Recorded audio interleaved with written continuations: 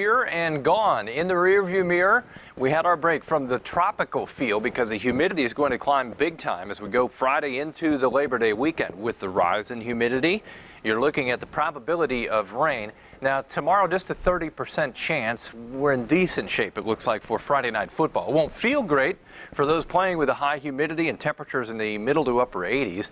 So we get to the weekend, 60% chance for thunderstorms once we get to Saturday afternoon through Saturday night and into Sunday. We back off a little bit on the rain chances Labor Day. Overall, beautiful evening tonight. Temperature 11 o'clock, 75. The humidity is still not bad. The wind will be light. During the overnight hours, temperatures in the 60s once again.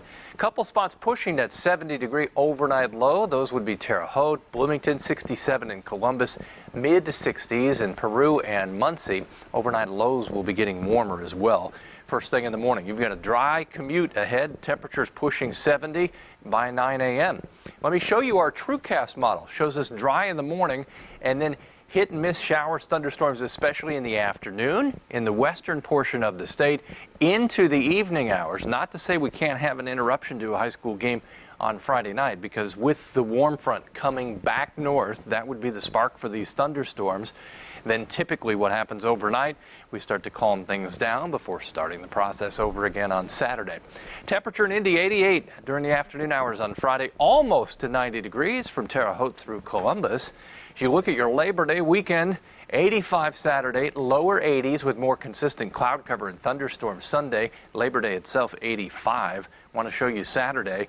We start dry, showers, thunderstorms erupt late afternoon into Saturday night, and then they're likely Saturday night into Sunday. Gradually, you can see northern Indiana probability not as high as central and southern portions of the state on Sunday.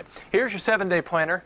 If you're looking for dry days, we will find them, but toward the end of the seven day forecast, next Wednesday and Thursday, without rain chances at this point, and temperatures in the mid 80s. Thanks for watching.